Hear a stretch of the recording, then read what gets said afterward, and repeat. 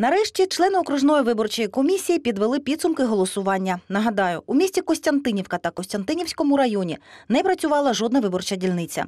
А от у Красноармійську та районі із 62 дільниць було відкрито 55. Право голосу тут мали 78 тисяч 116 чоловік.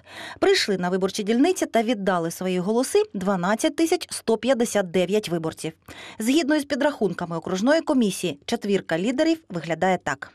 На первом месте у нас Порошенко 4247 человек, на втором месте Тигибко 2007 человек, на третьем месте Тимошенко 1418 человек, на четвертом Добкин 1027 человек.